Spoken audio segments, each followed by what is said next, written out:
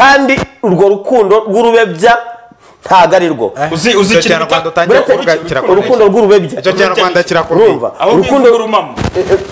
nta rumamo nta rubebya ni matara n'abandi bose bisoma mu bintu byose nashyize kuri mm, nashyize kuri ngibyo. kariya kantu ko abaturage bavuga ko barimo guhabwa amarobo y'umuceri. Bamwe batangira kuvuga ngo none se ngo wafashije bangahe? Abandi baravuga ngo ibi ngibi ngo ni ukugumura abaturage. Icyo mwita kugumura abaturage ni iki? Nimba abaturage bo ubwabo turi mu kiganiro umuturage wumva ko arimo guhabwa ibyo yakabaye agenerwa ibyo tuvuga tukaba tubeshya na bano batubwiye ibi ngibi twisangiye kuri tele bamaze kubihabwa. Akaba ari nk'amashusho mahimbano muduhamagare mutunyomoze. Ku itariki ya mirongo itatu n'imwe z'ukwezi kwa gatatu umuyobozi w'umujyi wa kigali pidansi rubingisa asohora itangazo ry'abantu bagomba kubona imfashanyo. Byavugaga ngo kwibutsa, kugira ngo hari bamwe muvuga ngo ntibyatugezeho kandi mu mabwiriza yatanzwe batarimo koko. Reka ndetse umukuru ryakabaye nihuse madamu bwana nshingwabikorwa w'akarere bose kigali. Impamvu. Ubwo ni kicukiro gasabo na nyarugenge. Kwibutsa amabwiriza yo guhitamo abaturage bagenerwa inkunga y'ibiribwa muri gahunda yo gufasha abagizweho ingaruka ziturutse ku ngamba zo gukumira covid cumi n'icyenda. yego. Nyuma y'uko guverinoma ifashe ingamba zo gukumira ikwirakwira ry'icyorezo cya covid cumi n'icyenda cyane cyane izafashwe kwa makumyabiri n'imwe z'ukwezi kwa gatatu bibiri na makumyabiri zibuza urujya n'uruza rw'abantu n'imirimo itihutirwa cyane hari abaturage izo ngamba zagizeho ingaruka cyane cyane ba nyakabyizi barimo abafundi abayede n'abandi bakozi bo muri za informal sector. Ni muri urwo rwego leta yafashe icyemezo cyo gutanga ibiribwa ku baturage bagaragazwa n'inzego z'ibanze ko batishoboye.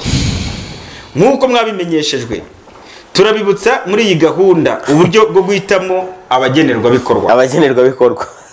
Ibigenderwaho mu guhitamo abagenerwabikorwa. Yego. Icya mbere kuba adafite ubushobozi bwo kubona ibimutunga kubera ingamba zo gukumira icyorezo cya coronavirus. Icya kabiri kuba uwo murimo atakiwukora kubera ingamba zo gukumira icyorezo cya coronavirus. Icya gatatu kuba uwo murimo ah, kuba yari afite umurimo akora. Icyo cyari icya kabiri kimaze gukorwa n'icya gatatu. Icya kane kuba we uwo bashakanye cyangwa umwishingizi we adafite ikimutunze. Icya gatanu kuba atari mu makoperative yahawe ubwasisi. Icya gatandatu kuba atari asanzwe muri gahunda z'ubufasha zitangwa na leta. Entre parenthèses cyangwa hagati y'udukubo. Direct support vup icyo ni icyiciro cya mbere ni farije cyangwa indi miryango idashamikiye kuri leta. Abo ntibarimo abo ntibarimo Icya karindwi kuba atarabonye ubundi bufasha bwaturutse mu baturage mu mudugudu mu gihe cyagenwe. Hano twashyiramo aba babonye kuri iriya nkunga vuze ya deperi bamwe babonye ya rugamba muri beteseda watanze amatoni ariko nawe ngo akashyikiriza umurenge bamwe bakavuga ati reka n'abakirisitu duhasengera twari tuzi ko tugobotswe ntabwo ari twatugezeho ngo yagiye mu bayobozi bamwe baririra Baririra. bakagira bati abayobozi nshingwabikorwa b'uturere baributswa gukurikirana ishyirwa mu bikorwa ry'aya mabwiriza dukomeze kurwanya coronavirusi dushyira mu bikorwa Urakoze cyane. yo kwirinda rubingisa Prudence umuyobozi w'umujyi wa kigali bimenyeshejwe bwana minisitiri w'ubutegetsi bw'igihugu na madamu umunyamabanga wa leta. None se wenda mbere yuko dukomezaho gatoya. N'ubundi se si yuko- biryo bigenewe abifite mbere yu- mbere yuko dukomezaho gatoya reka tubanze twihanganisha abakunzi b'umuziki nyarwanda ndetse n'abakunzi b'umuziki muri rusange. Mu minota mike cyane ishize umu DJ witwa DJ Mila amaze kwitaba imana. Dj mira ego. Dj mira mu minota mike ishize uh, ni bwo byatangiye kuvugwa uh, yagize stroke eh, ngo umwe mu mitsi yo mu bwonko sinzi ibibazo yagize. Ubu ngo uri uherutse gukora igitaramo cy'imbwa? ahubwo yari kuzagikora mu kwa gatanu n'atari mu kwa none gatandatu. apfuye atahageze imana imwakire mu bayo. Ni igihombo gikomeye cyane ku muziki nyarwanda. Yagiye. Imana Eh, imwakire. Dj mira okay ubwo imana imwakire Banza umenye neza aya makuru kuko ngewe ntabwo nabyumva. Urabyumva kuko nta kundi. Ikibazo ni uko azanashyingurwa n'abantu bake. Mbarwa nguko. Sha muri izo mbarwa dj mira ari bwo ashyinguye najyaho kabisa. Nuko bimeze rero So, reka twakire, njye hari ikintu kimwe nibaza. noneho hari bamwe Nyakubahwa mesaje ejo Meya, uretse gatoya. bati ubwo bwo mu cyiciro cya mbere ko vup yatwambuye bakaba badukuyemo. Urakoze cyane ushimye ahanjyaga vup yarabambuye. Kandi n'ubu ngubu ntibari no gukora. N'ubu ntibari gukora. N'ubu ntibari None Eh, barimo. hari n'abahabwa- n'ababarwaga na leta bari mu cyiciro cya mbere. Kandi nabo ntibarebwa n'iyi nkunga. Yewe. rero niba batarebwa n'iyi nkunga kandi mukaba nta kindi kintu mwabahaye. Ahubwo nibarekere gukomplayininga papi kugeza ubu ngubu ndumva mu bantu bagenewe ahubwo inkunga nawe ndumva ushobora kuba urimo. iyi nkunga iyi nkunga ndumva ari njye iki- u- Na- i- nawe igenewe ni- niturangiza ikiganiro. Ahubwo muri iki interview. niyo mpamvu rero ngo nk'abayede batagikora abamotari ariko n'abatabonye ubwatsi. Abamotari ubwo bwatsi se? Ariko none se reka nkubaze reka nkubaze utari mu makoperative y'ubwatsi ahubwo noza kuganira n'abantu Ibi biryo bigenewe nde? barambwira ngo Babime, babime, babime. ngo umurenge sako wose koperative wambabariye wambabariye ukampamaga- ukampamagarira meya w'umujyi wa kigali. Kari mushuti wawe. Byibura akadukundira ni nk'abafundi abayede ndashaka kumenya. ba bantu ba ntaho nikora. Bari mu cyiciro cya mbere. Bakaba batagenewe iyi nkunga. Ngo babonaga indi nkunga ya leta. None se aba bakozi bose gatoya igitekerezo uzanye abakozi ba kbs birukanywe. Igi- abakozi ba kbs birukanywe. Ntibahembwe nabo barameze nabonye nabi ba kebesi mbona ba orizo mbona ba Ahubwo ariko ari- mu itegeko na- nasanze ndabona amezi atatu aremewe. Umukoresha yemewe kuguhagarika kubera krize biremewe rwose. Biremewe nariya amezi atatu. Nasanze ugiye mu mategeko biriya bya kebesi n'ibindi bigo byinshi byafashe. Biriya byemewe n'itegeko. Oya biriya biremewe. Biremewe, Umukoresha- yagize ko ashobora uretse kujisitiya gatoya. Ntabwo mvuze ko iyi kirize bakagombye kuyibaramo guhembwa. Ayo bakoreye mbere batarahembwa bayahembwe. Aha ikibazo cyaba kudahembwa niba imideni. Ibyo bintu ni ibiki koko? usanga benshi nabonye bahagaritse nabonye amatangazo mu kanya za orizo So. nabonye ngo za semineri ndera reka twitabe abantu kuri telefone mutange ibitekerezo byanyu munatubwire ku bijyanye n'iri tangazo ry'umujyi wa kigali. Ese koko abagena inkunga ni bande? yego. Tubanze nubwo wabigarutseho twibutse abantu ko mu barwayi cumi na batatu bari baraye babonetse barwaye korona virusi twari dufite mirongo inani n'icyenda bakaba ijana na babiri. Ubu ku rutonde harahita havamo bariya batangiye no gutaha bane. Ba- abo bane batangiye gutaha kuko turahita tugira mirongo Icyenda n'umunani. icyenda n'umunani. icyenda n'umunani. Tubibutse ko aba barwayi barimo gutaha nabonye hari umwe nabonye hano rwose udukapu batangiye kutwegeranya. Ufite akakapu k'umukara. Turabibutsa ko aba barwayi barimo abanyarwanda batatu n'umurundi umwe bari bagaragayeho nyine icyorezo cya covid cumi n'icyenda giterwa na coronavirus mu rwanda. Ah, barasezererwa rero aho bari barwariye mu bitaro bya kanyinya eh, muri uyu munsi. Aba bantu barajya iwabo birumvikana gushaka kamera ariko gu- celestin. mu gutaha. Utuzanire televiziyo yabo. Reka tuba twita abantu kuri telefone nka babiri ubundi tugaruke tureba isoko rya nyacyonga btn tv ara ariko kuri telefone ntitujya kwakira Aba- abageze nyamuneka, hirya ya mm. televizeri yawe kugira ngo tubashe kumvikana uyigabanye cyangwa ujye ku ruhande hirya yaho. Ntabwo uri butwumvire kuri uh, screen ni kuri televizeri yawe urimo utureba gutya. Ntabwo biri bukunde hanyuma ngo ijwi ryawe naryo twumvikane. Tv ara Halo, yego yego. Mwiriwe. neza? Witwa habakurama jean paul. Uherereye he? Mu karere ka aha uwuhe murenge uwuhe murenge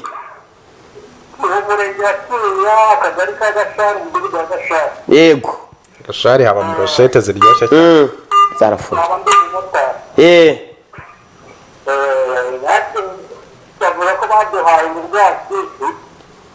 bw'amafaranga angahe bw'amafaranga angahe yego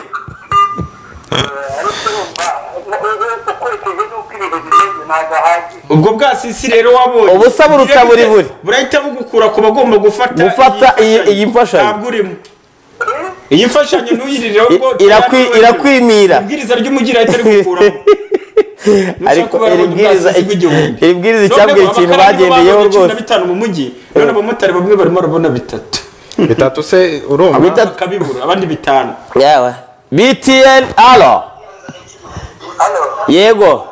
Kuri televiziyo turi kuvugana. yego hageze kuri btn Yego. Mm.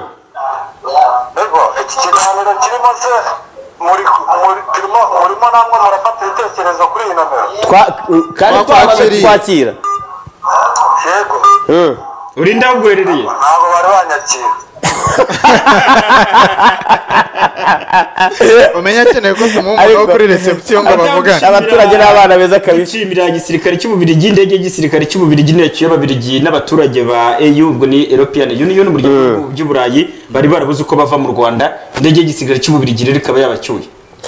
Baragira ati mwiriwe ntuye mu murenge wa byimana mu karere ka ruhango mfite ikibazo. Nibaza nibaza kikanshanga. Ubu nkurikiranye ikiganiro cyanyu kuri btn hano muri uyu murenge akagari ka musenyi umudugudu wa nyarusange banditse abantu bagomba guhabwa inkunga eh, y'ibibatunga muri ibi bihe turimo. Kandi abantu bacumbitse gusa kandi bafite icyo bakora nk'akazi ka leta. Abaganga abarimu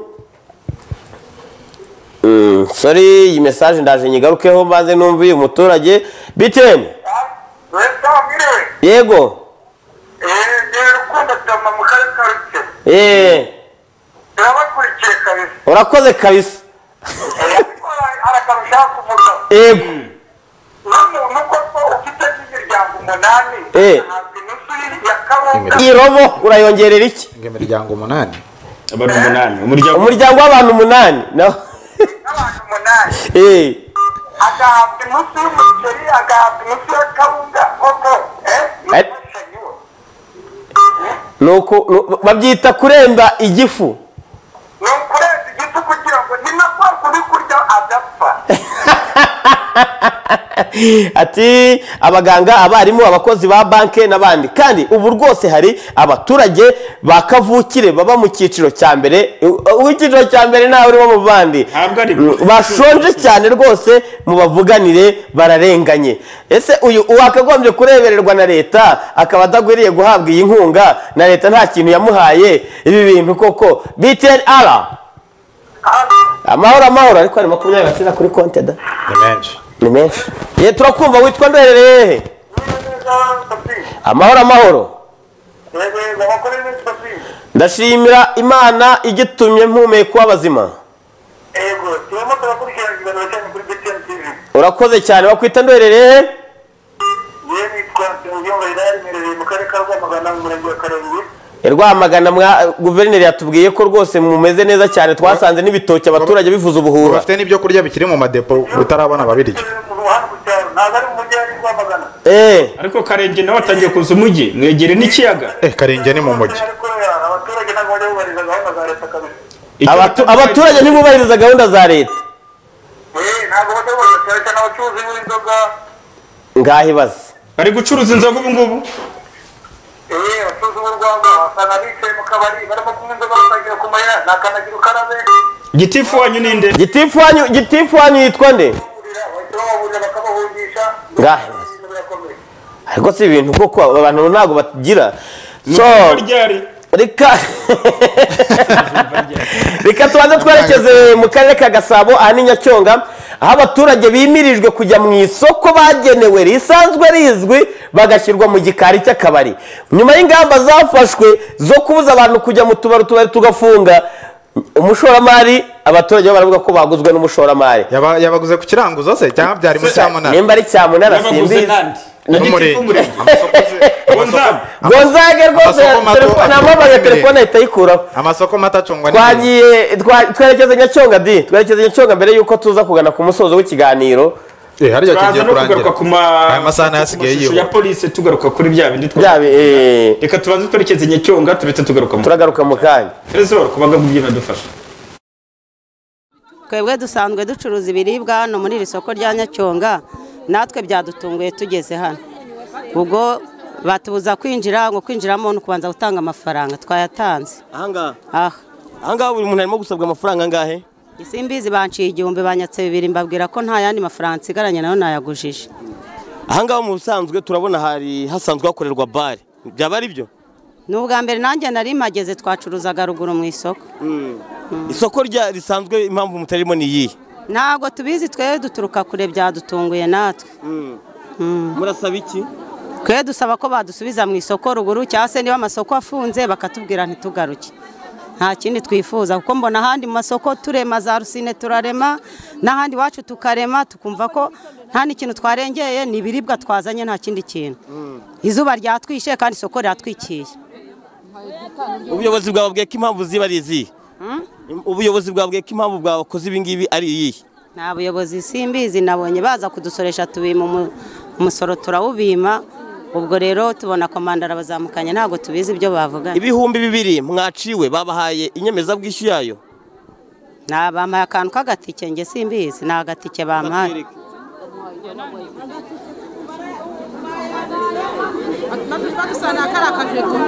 niba ari akake ndetse Ah, ntacyo. Ubwo ayo waciwe se byibura mu bucuruzi? Iyi niyo fagitire murimo guhabwa. Kanditseho tariki makumyabiri n'eshanu z'ukwa eh, tariki eshanu z'ukwa kane bibiri na makumyabiri. Gasabo. Ah, ni hatari. Ibi mwabyakiriye mute? Nyine kubera ko twari twazanye ibintu tubona nta kundi kuntu twabigenza twayatanze. Ni ibyambuza uko ngira. Byambuza uko ngira twayatanze. Cyane koko ntako bampaye. Subize mu isoko ni cy'umunsi umwe. Ngo ibi ngibi byagenze bite? Ngewe naje nsanga binunguye nsanga isoko baryimuriye aha ngaha Eh, bivuze iki kuri mwebwe? Nyine byadutunguye kuba twari tuzi ko isoko riremera hariya ruguru tukarisanga aha ngaha. Nawe kano kaje njye tuhagahawe ntako bampaye gusa natanze amafaranga ntanga n'ay'ubushize y'iseta nzaza nkakoreraho. Eh, murakeka icyaba cyihishe inyuma y'ibi ngibi ari igiki? Ntabwo tukizi rwose uko bimeze. Murasaba iki mukecuru? Turasaba ko twatanze amafaranga n'iriya tike ntibayiduhe. Wowe nta n'akazi tuhabonye ntako baduhaye uretse ko bandikisha mu ikaye. Nimo amazina bayashyize mu busanzwe aha ngaha hari hasanzwe hakorerwa iki? Ntabwo mbizi. Ahangaha hakorerwaga bare hari akabari. Ubwo rero igira hano imbere. Gira imbere ariko vuga hagarara aha ngaha. Hagarara hari hari. Ahangaha hakorerwaga bare. Aho bahagaritse ibingibi by'utubari rero twe twasanze ari uburyo bwo gutekinika kugira ngo nawe abashe kwinjiza yinjize muri uru rwego rw'isoko. Niko twaba twabibonye. Bivuze ngo abaturage mwaguzwe. Twaguzwe kandi noneho twebwe byatugizeho n'impinduka mu bucuruzi. Bwatugizeho impinduka turi gusohora amafaranga ajyanye niba ari imisoro ubwo si twamenye ibyo ari byo ngo ni ukugura ikibanza n'ifatabuguzi turatanga amafaranga bavuga ngo ni ifatabuguzi ugura ikibanza.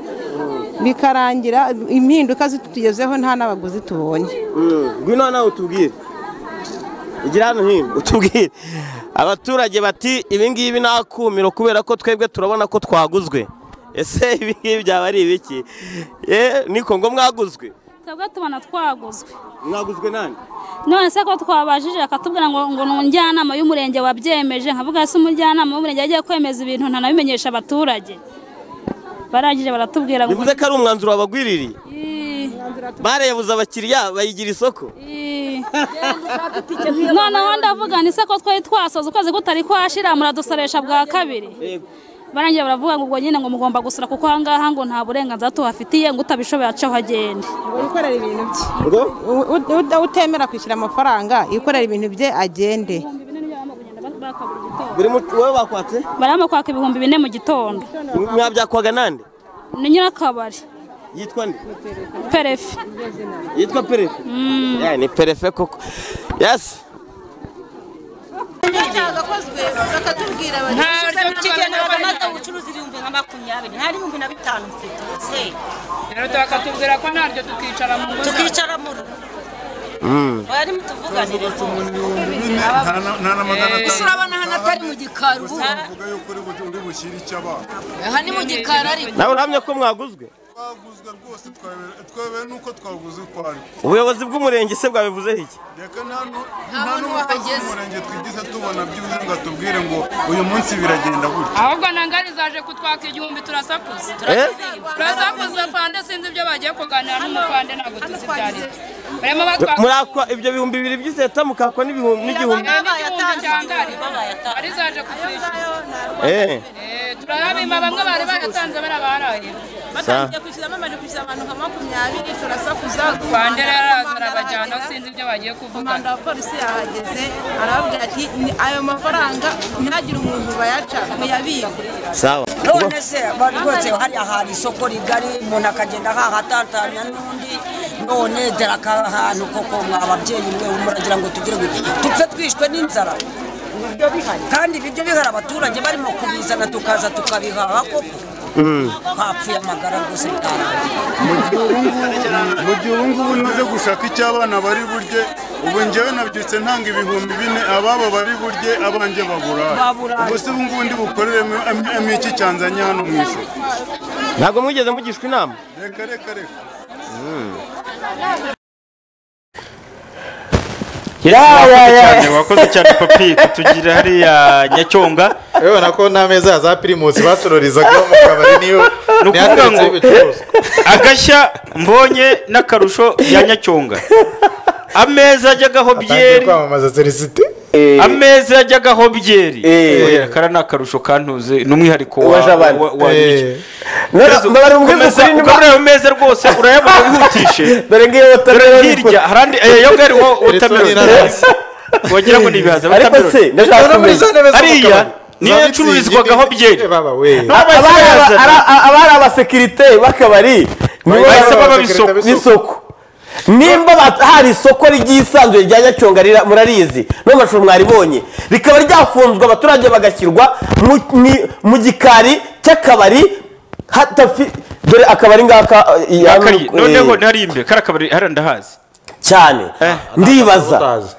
ubu dore hari inyuma uriya ni amawese y'aka ka- bare resito ndashaka kube dore imyenda n'iki Hariya- babikusanyirije kuri ya meza dore hariya umu- umutaka gusa. bakuyeho umutaka gusa. Urabona ni umutaka bashatse baza bakazitwikira. Cyakoze urabona. Nimba leta yarafashe ingamba z'uko utubari tugomba gufunga muri iki gihe cya coronavirus mukaba mutangiye kubagirira ubucucike ubu- ubari mukabugira isoko. Nyakubahwa gitifu w'umurenge. Noneho ikintu kibabaje.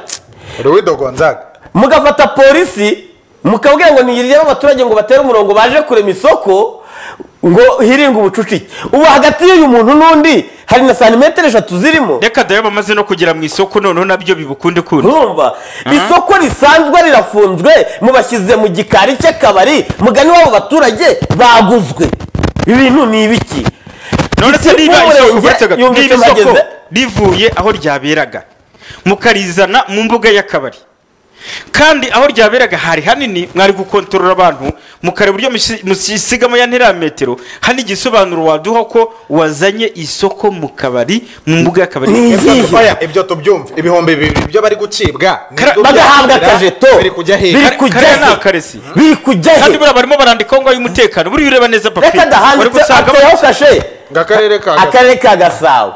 Akarere ka gasabo kashe se ni Tuvuge akarere ka- tuvuge ko ari akarere ka gasabo. Ni akarere kabatumye gukora ibi ngibi. Nyakubahwa giti kuki mushobora gufata abaturage mukabagaraguza agati nimba uyu muntu yarashinze bizinesi ya- ya bare na resitora urumva? Ntabwo yigeze ashinga bizinesi y'isoko.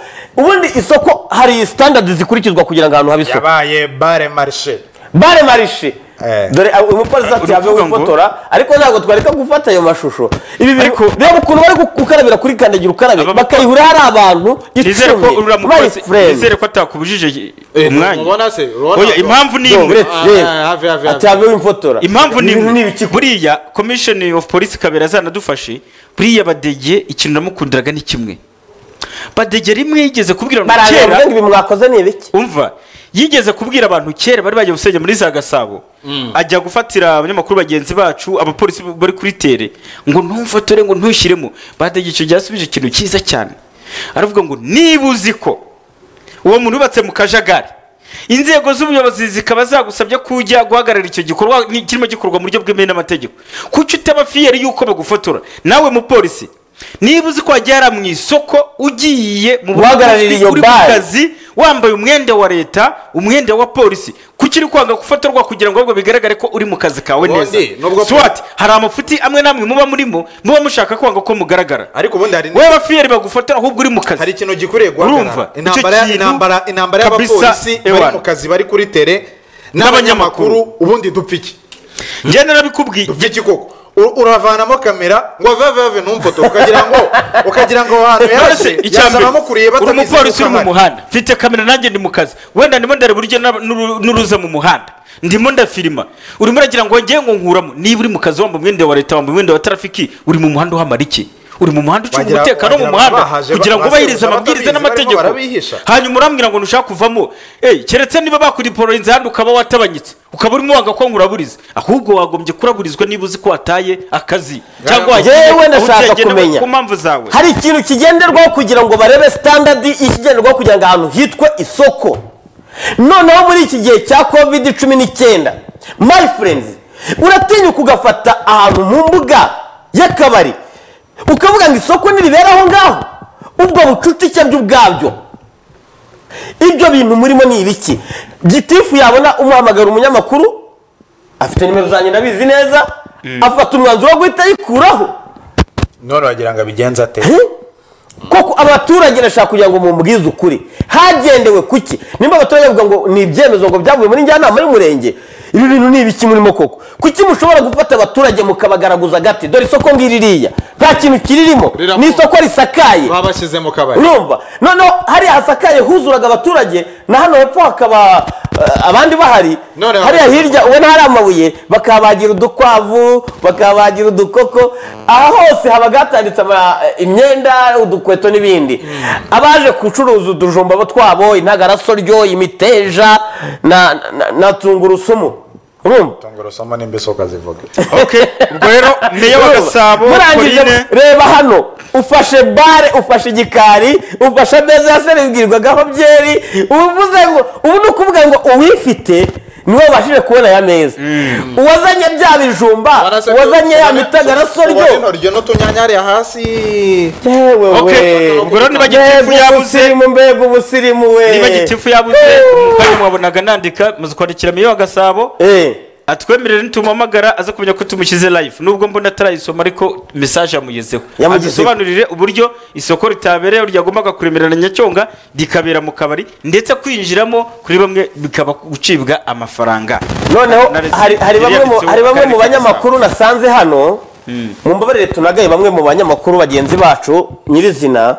Ko mu rusyo gakoma n'inga Eh, baba bashaka gukora by'indamu zabo ngo wibivuga ngo uriya ni inshuti yanjye. Ubwo bagiye tuba inshuti ariko tugeze bagiye mu cyumba cya bagiye mu cyumba cy'aka kabari bakambwira ngo ibyo uvuganye n'abaturage ngo ngwino hariya ngo tuze ngo natwe tuvugane. Uri umuvugizi w'umurenge. Cyokora nshimirira menshi mpuje yarariyo. Papa kibizu? Papa kibizu. Yarariyo. Yahise ahansanga aravuga ati ibi bintu bari gukorera abaturage ibi ni ibiki? Ibi ni ibiki koko? Ufashe abaturage bajyaga mu isoko ryose bakuzura ubashyize mu kabari. Ubashyize mu gikari cy'akabari friend. Come on. Ibi bintu murabona ibintu murimo? Ese iki cyorezo cyo ntimugitinya? Ahangaha ko wabwira abaturage bagatandukana. Mwebwe aho ngaho bibananiza iki? Mwebwe aho bibananiza iki? Ku buryo ushobora kubona akabari kafunzwe ukavuga ngo bo ubwo uyu yafunzwe ariho twaryaga aya maburusheti ariho wadukopabwa utwo tubyeri rika tumugirire ikigongwe tumure abaturage bamusorere bakorere mu mbuga ye. Ibyo ubundi si abantu- icuruzwa ry'abantu reka dusabe ntabwo ndi umugenzacyaha. sindi ni n'umushinjacyaha urumva Reka dusabe si abantu- trafficking. so Reka ataba dusabe- itaba human se- trafficking se ni iki? Reka dusabe ufasha abantu ibintu abaturage ubaciye ibihumbi bibiri ubahaye akantu k'agapapuro k'akantazi Ngaho rekera- rekera kurakara rekera ariko kurakara oya sindakaye Ntabwo uri bubakubite sindakaye Celestin. ariko Reka yewe twikomereze. ndibaza Reka twikomereze. uyu murenge ufite ubuyobozi. Burahari. Ubu niba ufite ubuyobozi. Ariko papi tuzamutera feneriga kugira ngo ajye agabanya nawe kugira ngo niba ufite ubuyobozi. Papi. ugatinyuka gushyira Nawe ugira abapolisi menshi. b'igihugu ugira menshi atari ayo ku musatsi atari menshi z'abagore so ikiriho ni iki? Cyo dusaba abayobozi ikintu cya mbere muri ibi bihe. Mwabyumvise indera hari babiri uh, umudugudu n'ushinzwe umutekano batawe muri yombi. Bazira gukoresha iriya mfashanyo kuyirya cyangwa ku- ku- ku- ku- ku- kuyirya. Reka nkoreshe gutyo ribu byabateye muri yombi. Ikindi mwikinira ku buzima bw'abantu. Niba uri gitifu w'umu- w'umurenge njyanama ni urwego- ubundi njyanama uyaterane kuri video conference kuko nimwemerewe gukora inama. Wenda kuri telefone mwazikora. Ni bangahe bafashe umwanzuro kugira ngo mubuze isoko ryaremeraga mu ryimurire mu kabari? Niba gitifu nawe ufite mu ruhare wagombye kubiryozwa uri umurenge ngo nawe hari ikindi urimo ubazwa. Meya w'ugasabo nawe. Twakoresha ubutumwa utubabarire ugira icyo ubwira ku banyarwanda badukurikiye. Ibi bintu ntabwo ari byo niba ari n'ubundi buryo bwakozwe mutubwire icyo mwagendeyeho. Umuyobozi utubahiriza neza inshingano. Muri iki gihe wagombye niba udafite n'umutima wawe kimuntu kuwugushyiramo. Sinzi niba harya wa wundi wapfuye n'indi wavuze Jamila. DJ Mira Je- ni ni ni ni ni- harya ni DJ Eh, DJ Demira. Ibyo ntabwo igihe niba tuvuge niba ni urugero njya gufata ariko mu mbabare ntabwo Eh. ngiye gushinyagurira umuntu. Turebe umuntu wenda wafatwaga nk'intwaro ufite umutima wa kimuntu none se dusaba imana n'inzego bazajya dufata wa mutima kandi nawe wahagaze tuze tuwuguteremo wenda ugire umutima wa kimuntu niba wowe atari uwa kimuntu. Hari ibintu abantu bari n'umutima niba babanje no gutekereza. Urumva. Nuko niba babanza gutekereza ikindi hari umuntu twese tuganira ugomba kutubera urugero. Eh. Ni kimwe n'abayobozi mujye mubwira abaturage ku mvugo bumva banasobanukirwa. Ndetse njye nanashimiye ambasaderi wa amerika muramuzi mu Amerika? ntimujya mumubona uzi ko hari igihe ajya- igihe ku kazi Eh. n'akagare. Peter ambasaderi wa amerika mu rwanda. Hari igihe Peter afata akagare k'akanyonga akigira ku kazi. Cyangwa akagenda n'amaguru. nabonye hari icyo yavuze ku nkunga yashyikirijwe u rwanda. Yashyikirije inkunga u rwanda. Amerika yashyikirije u rwanda. Arangije anayivuga mu kinyarwanda cyiza cyane. Mu gihe hari bamwe mu bayobozi tu- tugira ubakubwira ikinyarwanda se? Bihandagaza so urabona ifasha kwa- by the way dufite accident without anything and dutanga report. So I am so turi muri understanding. mobilization yo gukangurira abaturage kuwotika iryo jwi? Teresor dufashe reka ryumvikane tuba twumva ambasaderi wa amerika mu ijwi rye rwanda. rishyiremo banza yivugire mwumve Eh, neza. niturangiza tugaruke ambasaderi twirebera ba w'Amerika mu Rwanda. bayobozi ba sodati Eh, ubundi turebe. Muraho neza. Nitwa Petero Vroman. Ndi ambasaderi wa Amerika mu Rwanda. Uyu munsi nishimiye kubabwira ko twatanze indi nkunga ya miliyoni y'amadolari mu bufasha bwo gushakira igisubizo icyorezo cya covid cumi n'icyenda. Ni hafi miliyari y'amanyarwanda yatanzwe na abanyamerika ku nkunga biyemeje gutera u rwanda. Abanyamerika n'u rwanda ni abafatanyabikorwa bakomeye mu bijyanye n'ubuzima rusange. Bw'abaturage kandi twizeye neza ko iki kibazo tuzakivamo neza. Iyi nkuru nziza ku banyarwanda kandi ni inkuru nziza ku banyamerika. Kubera ko ubuzima bwanyu ni ubuzima bwacu kandi ubuzima bwacu ni ubuzima bwanyu mube amahoro. Okay, Ambasade, ndagushimiye cyane. leta zunze ubumwe za amerika mu rwanda. None arangije urumva n'umutima kimuntu afite. Iki kibazo ariko abanyamerika ntabwo- nibwo buzima ubuzima bwacu nibwo buzima bwacu. None wowe muyobozi urimo ufata baguha ibiro bitatu utanga ugatanga irobo. Irobo. Ubuzima bwawe ntabwo ari bwo bw'abaturage. Abanyamahanga Felicite. baturushe ubumuntu. gusa. karahandurika reka kuba ari abanyamahanga. banugarijwe kuturusha. Kuturusha ariko bo ni igihugu bafite cyateye imibare minini cyane y'abantu bari gupfa. Nk'ejo bundi hapfuye abantu igihumbi Miliyo n'ijana. igihumbi n'ijana na ku munsi umwe muri amerika. Twe nta muntu n'umwe urapfa. Ariko umuyobozi akamubwira ngo uri umuntu uramuha ibiro bitatu ukamuha irobo ukamuha irobo mu isoko yacururizagamo yisanzuye. Ukamushyira mu kabari. Ubuzima bwawe ni bwo bw'umuturage. Buriya duhaye isomo. Kuberako kubera Kuberako. Eh, reka wereke rero. ubundi twigeze guhura yibere ku igare. Urumva ambasaderi wa amerika. Mu rwanda. igihugu cy'igihangange ku isi. Reka nkubwire celestin. Akiyoroshya. Tukajya n'andi bayobozi ahubwo buriya ugiye kumaza aravuga ngo urabona Biracyari uh, muri, so urabona iyi mfashanyo by the way ngo nge- ngo ibintu. bya human security ngo twatangiye mobilization itubwira abaturage kwiyubakira amalatrines Ah, abaturage baragenda babyumva ariko ah, we are still trying kugira ngo turebe ko kugira ngo turebe ko twabona funds. Hmm? reka eh, bo reka nkugire nka meya jemba umunyamakuru nkubaze. Eh. Uvuge uvuge eh, eh, eh, mugire nka kanimba ni we wigeze kuvuga. Icyongereza we baka kanimba. Murakoze cyane Ya- yarakiri minisitiri w'ubucuruzi n'inganda. urakoze cyane nyakubahwa minisitiri w'ubucuruzi n'inganda. Twagira ngo mutubwire ku bijyanye n'ikibazo cy'abacuruzi bakurwa mu isoko bagashyirwa mu- gikari cy'akabari ndetse n'abazamura ibiciro uko biboneye. Haba hagiye gukorwa iki? Mura- murakoze cyane. Abo ikibazo cy'abo bantu bafata abantu bakabavana mu markets bari basanzwe bakoreramo bakabashyira mu mabars.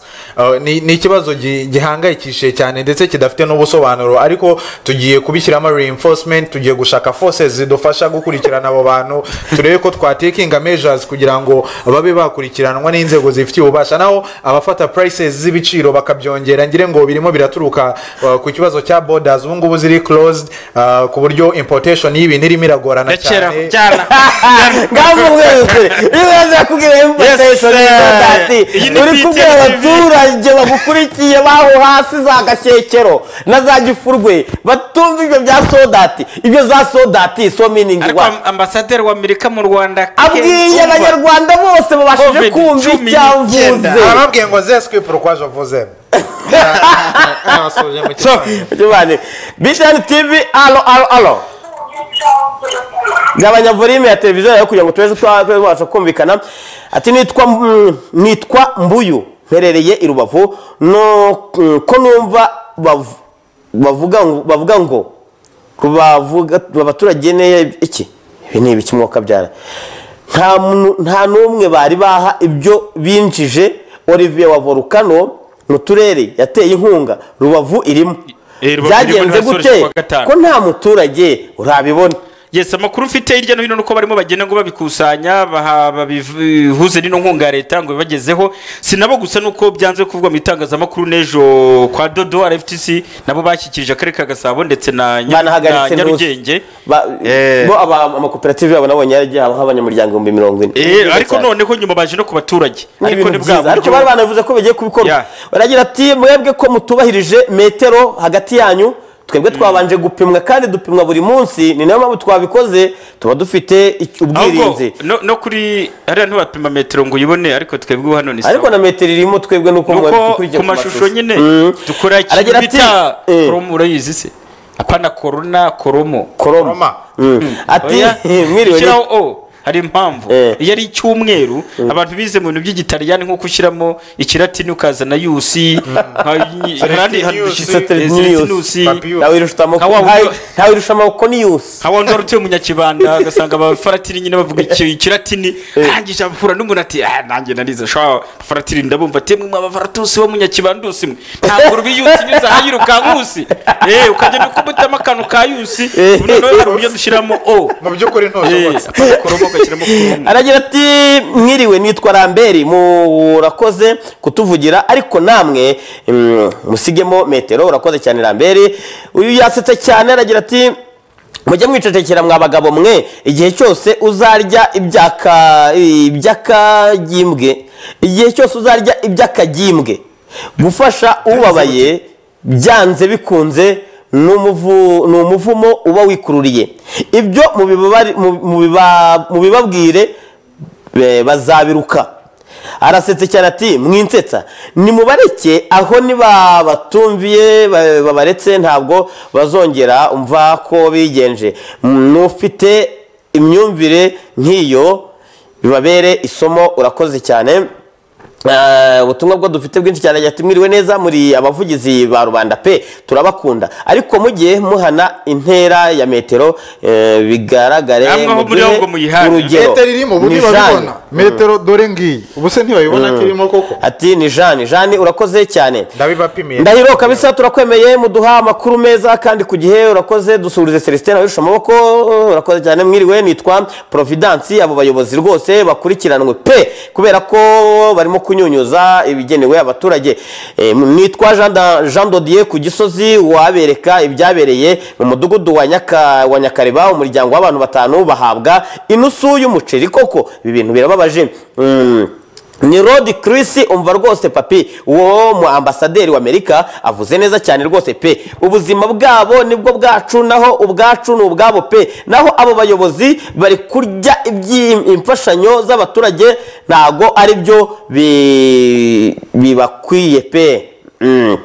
Mm. Ah, ni mugisha hajye havuga umwe umwe kandi musige metero hagati yanyu urakoze cyane mugisha ku nama yawe mwiriwe nitwa damascene ntuye mu Kagu- kagugu iyo nkuru y'abayobozi bakubita amajido muyiduhe murakoze cyane amashusho turacyarimo kuyashaka nituyabona turaza kuyabaha cyangwa se gusa polisi y'u rwanda twanabwira ko tunayishimira yashyize ku rukuta rwa twitter ko Mm. yamaze guta muri yombi umupolisi ndetse n'abanyerondo bagaragaye muri icyo gikorwa harimo umupolisikazi w'umwofisiye eh, wagaragaye umunyerondo akubise jido rwose uriya muntu byumvikanaga mu majwi eh, uriya muturage avuga ngo ariko murimo muranjyana aho najya Eh. baramubwira kuri munyuro hano ati bambwira Subira cishwa inyuma. aha ati ariko murimo aho ntajya bamukubise umunyerondo yakoze ibintu bi- barakubita umupolisi kazagaragara cya- afite inkoni ariko ikintu cyo navuga ku banyerondo celestin uriya mupolisikazi buriya yakagombye kuba yarahise afatira igihano uriya munyerondo ako kanya. Noneho umunyerondo umunyerondo yakingiwe ikibaba. Ni na cyo kintu we yari kuzira. Uriya munyerondo icya mbere cyo bamwe mu banyerondo keretse inkeragutabara. Abantu bajya basobanukirwa itandukaniro riri hagati y'umunyerondo n'inkeragutabara. Inkeragutabara. Eh basobanurira inkeragutabara ni ushobora kuvu- kuba ari reserve ashobora kuba ari umuntu wa- wari umusirikare. Abahoze mu ngabo. ashobora kuba ari demop cyangwa se ashobora kuba ari retired. Kuba yaravuye mu gisirikare. Yaravuye mu gisirikare. ushobora kukivamo. Ubwo retired mbyikure turamusuhuza ushobora kuki ushobora kukivamo ah, ugeze mu zabukuru cyangwa se ku itegeko runaka ushobora no kukivamo ah, kubw'impamvu zindi runaka. ushobora gusezererwa uba demob uba retired mu gihe igihe runaka nyine bigeze kuvana mu gisirikare runaka ku mabwiriza y'igisirikare abo rero umuntu ukuriye iyi abanyerondo mu kuva mu mudugudu mu kagari no ku murenge agenda kuba ari umwe. Seri- iyo ari village commander seri commander cyangwa se sector commander. Ni ukuvuga umuyobozi. Ibyo bivuga neza abaturage badukurikiye umuyobozi. Ibyo bya siri kamanda yabaga village commander ni umuyobozi w'inkeragutabara ku mudugudu. ku mudugudu. Seri kamanda ni ku kagari. Umuyobozi w'abanyerondo ku kagari. Segita kamanda akaba ari umuyobozi w'abanyerondo ku murenge. Cyane. Uwo rero agomba kuba yarabaye umusirikare. Uwo nguwo aba ari inkera ni nabo uzasanga bafite disipurine niyo mpamvu bitavuze ko nabo bashobora kugira ugaragarwaho n'amakosa. Ariko akenshi abo bigaragaraho ni abanyerondo. Nyuma mugamagara ngo inkeragutabara. Umuntu bita generali ibingira unakuriye inkeragutabara ibyo bintu byanga urunuka nawe ntabwo yemera umunyamafuti nk'uwo bariya Hari ikintu banyerondo kimwe ba- aba banyerondo rero Bamwe icyo nakubwiraga usanga nta sisi. bunyamuntu. aba banyerondo badafite ubu- ubu- ubunyamuntu Urabona ko badafite usigaje ubu- iminota iminota itanu. itanu turagiye Kuba dukurikiye n'ubusanzwe mubone ko rero turagiye dusigaranye. Mm, turagiye rwose humura Umuntu bita wa Elise mugabo aba yageze hano yahageze muri ahangaha studio. Hari- ariko mashini aracyayitwara muri manyuwa ako yambaye agashati keza cyane none. Oya, kwambara ni ibintu Eh, eh, eh, ikintu cyamunaniye ni ukugura igikapu cyo gutwaramo laputopu none se ayitwara mu ntoki? Muri manyuwa ntigeze kubona amafoto ari muri manyuwa mu mashini ako se wowe ubundi nta n'ibanga ugira. Ibanga keretse icyo nibagiwe. No mu kanya uravuga ko aje yariye. Agomba kurya yarihaye. Yarihaye. Yarihaye rwose. twihutishe kuri ibyo tubwire n'abantu oya turavuga ariko hatagira ubona ko wenda navuze ko atwara muri manyuwa ni mu rwego rwo gushishikariza abantu made in rwanda. Yes Celestin, ubwo hagati aho rero reka twihute tubanababwire ku wa kabiri tuzakitangira icyunamo hari icyumweru cy'icyunamo hari n'iminsi ijana birumvikana yo kwibuka. Ni ku nshuro ya kwibuka ku nshuro ya makumyabiri na gatandatu jenoside yakorewe abatutsi mu rwanda. Reka nihuse mbabwire uko bizakorwa kuko hari ibintu bibiri. Mwari muzi ko bizakorwa bitagikozwe. Ah, hashingiwe ku mabwiriza ya guverinoma y'u rwanda yo kwirinda icyorezo cya coronavirusi hashingiwe ku cyemezo cy'inama y'abaminisitiri idasanzwe yo ku wa mbere mata bibiri na makumyabiri yateranye hifashishijwe ikoranabuhanga igafata icyemezo cyo gukomeza ingamba zo gukumira icyorezo cya coronavirusi yongereye igihe cyo gukurikiza izo ngamba. Ho iminsi cumi n'itanu kikaba kizagera ku cyumweru tariki ya cumi n'icyenda mata bibiri na makumyabiri saa tanu na mirongo itanu n'icyenda z'ijoro. Komisiyo y'igihugu yo kurwanya jenoside cnlg ributsa ko nk'uko yakomeje kubitangaza ibikorwa byo kwibuka ku nshuro ya makumyabiri na gatandatu jenoside yakorewe abatutsi bizakorwa hubahirijwe amabwiriza yo kwirinda icyorezo cya coronavirusi hakaba habaye impinduka ebyiri ku mabwiriza ya cnlg yo kwibuka ku nshuro ya makumyabiri na gatandatu jenoside yakorewe abatutsi yatanzwe ku wa makumyabiri n'icyenda werurwe umwaka w'ibihumbi bibiri na makumyabiri. Tugeze ku musozo icya mbere igikorwa cyo gutangiza icyumweru cy'icyunamo mu turere ku wa karindwi mata bibiri na makumyabiri mu gitondo cyari giteganijwe gukorwa n'itsinda rito nta kizaba. Abaturage bose bazakora ibikorwa byo kwibuka bari mu ngo zabo bifashishije itangazamakuru rya radiyo televiziyo n'imbuga nkoranyambaga. Bakurikire igikorwa gitangiza icyunamo kizabera ku rwibutso rwa kigali ku gisozi kizakurikirwa n'ijambo nyamukuru ry'uwo munsi. Icya kabiri igikorwa cyo gusoza icyumweru cy'icyunamo cyari giteganijwe kubera ku rwibutso rwo ku irebero mu karere ka kicukiro kwa cumi na gatatu mata bibiri na makumyabiri mu gitondo nta kizaba azaba tuributsa ko gahunda zihari z'ibikorwa byo kwibuka ku nshuro ya makumyabiri na gatandatu jenoside yakorewe abatutsi bizanyuzwa kuri za radiyo televiziyo n'imbuga nkoranyambaga buri munsi mu cyumweru uh, cy'icyunamo guhera tariki ya karindwi kugera ku wa cumi na gatatu mata bibiri na makumyabiri kugira ngo zifashe abaturage kwibuka bari mu ngo zabo. Ibisobanuro birambuye bizatangwa mu kiganiro kizanyuzwa kuri radiyo y'igihugu radiyo z'abaturage ku cyumweru tariki ya gatanu z'ukwezi kwa kane umwaka kuva saa tatu za mu gitondo kugera isaa tanu ano. Ubwo eh, abagikurikiye twibuka bagikurikiye twiyubaka twubahiriza ingamba zo kwirinda icyorezo cya coronavirusi byakorewe i kigali ku itariki ya gatatu mata bibiri na makumyabiri dr. Bizimana jean damascene umunyamabanga nshingwabikorwa wa cnlg ni we washyize umukono kuri iri tangazo. Ibi baba bagomba kubimenya Eh, eh, ku urakoze ku wa kabiri niko gahunda izakorwa mwari muzi ko mu turere bizakorwa n'itsinda rito. Ikindi cyari cyavuzwe mbere cyananyibukijwe na za ngendo za wakati remember urugendo rwo kwibuka zabaga twabaga kenshi tuzi ku nteko ishinga amategeko kugira ibyo byose Byavanguwe. Mujye mudukurikira amabwiriza uh, ubutumwa abatangabuhamya uh, ibiganiro ku bayobozi ba ibuka abasenerije tuzajya tubibagezaho yego. So turagira ati "Turabe- turabemera murakoze cyane mm, celestin mfite umugore ukwemera ese ibyo kurya perezida yatanze i bumbogo? Biratugeraho. Umugore w'abandi wemera celestin arashaka ikira twemera ku makuru tumugezaho kuki makuru, mushaka gukuririza ibintu mwiriwe neza abanyamakuru beza dukunda mwe mm, muravuga. Inkunga aha, muravuga inkunga araseka cyane. Twe hano gatunga. Bari guha inkunga abatuye abatuye kandi bifashije. Ariko ntibahe abapangayi ubwo se ukwiye gufashwa ninde? Murakoze kandi na byo babitanga nijoro ku kagari. Nijoro ejo bundi byarabaye ku kagari nijoro bampamagaye ndababwira ntimuhamagare celestin. Iminota itanu yaheriza biranga. telefone ya nyuma ubundi twebwe twagiye. Btn alo iyi na yo dusorejeho. Yego. Komere cyane? Eh, nitwa Theondan mu karere mu mudugudu wa hano. Ntabwo wuzi hano mu gakinjiro. Mu gakinjiro ka gisozi. Yego. Ngewe ibyo muvuga rwose ndabyumva kandi ndabishyigikiye. Mm, rwose nta kintu na kimwe. Hano mu kagani iwacu haje barabwira kuri amasibo mm. noneho ataragera mu muryango ko yari aje kureba abantu nyine agomba kwandika bagomba gutanga bagomba kumufashanya Mm. agezemo hano mu gipangu aho dutuye nyine. Akimara kureba umukeka nta- kwirirwa areba ngo ni iki? Akimara kureba umukeka uri mu nzu nyine. Wapi ngo muko muri shoboye ngo nta kintu twabamarira kandi natwe tujya gukora ariko tugiye kurya ariko twakoze ariko twihuse kuko umwanya tugendanye amabwiriza aba agomba kubihabwa abayumvise ibyo bintu urumva bitakwiye okay amabwiriza arasobanutse umujyi wa kigali washyizeho urakoze Reka cyane. tumushimire reka tumushimire So, tunasoza amabwiriza y'umujyi wa kigali yarasobanutse niyo arimo gukurikizwa ntabwo turi hejuru y'amabwiriza murabifata gutyo nyine. Dushimire n'abantu badukurikiye so dushimire n'abantu bari rusizi badukurikiye ari abari kamembe harimo dr muswati n'abandi.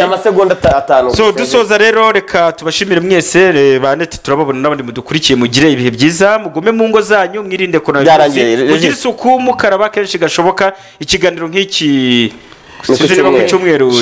tuzaba tukiri mu tuba tuzakora tuzakora mu Mm. oya ibiganiro tuzagenda tubikora muri ino minsi Tuzabikora. y'icyunamo. dushimiye cyane abantu babanye natwe bakanabitugaragariza tania olivier aline ndetse na ndayisenga n'umudamu we ah, bamwita konsole ndetse n'urubyaro rwabo abo ngabo ni abantu banjye cyane ubwo Kimisagara. rwabo mvuga nabo tuvukana turabakunda mugume mu rugo mwubahirize amabwiriza atangwa ibintu byo gusohoka mugume mu rugo turi ku byageno kazi ku mwageneye bwanyu. regisi ntabwo yampayeho rwose. Turi ku kazi ku- bwanyu namwe mudufashe mugume mu rugo ku bwacu tuzajya tubabera hanze tubarebere uko ibintu bimeze. Stay safe. Okay. Uwiteka akomeze guhira imirimo y'intoki zanyu turabakunda cyane. Yaba batanze ubutumwa baduhamagaye batweretse ko mudukurikiye muri mu bice bitandukanye mwirinde icyorezo cya korona vayirasi mukurikiza amabwiriza arimo gutangwa n'inzego zitandukanye. Ngenda ndahiro valence papinshi ni we bagenzi banjye bamfashije kugira ngo ikiganiro kigende neza. Nyamuneka abayobozi ibyo musabwa ni mubikore kandi muharanire iterambere ry'umuturage mbere yo kwirebaho. Uwiteka barinde bayi bayi umuntu bita trezor asante. Cyumweru murakoze nitwa mufuruke fred uh, guverineri w'intara y'iburasirazuba. Uyu munsi ndakangurira abaturage b'intara y'iburasirazuba ndetse n'abaturage b'igihugu cyacu muri rusange uh, kwirinda icyorezo cya coronavirus cyane cyane bubahiriza ibintu bitatu. Icya mbere ni uko bagomba gukaraba kenshi mu ntoki n'amazi meza n'isabune. Icya kabiri ni uko bagomba guhana intera eh, igihe hari aho bagiye. Eh, icya gatatu ah, ni uko oh, bagomba kuguma mu rugo.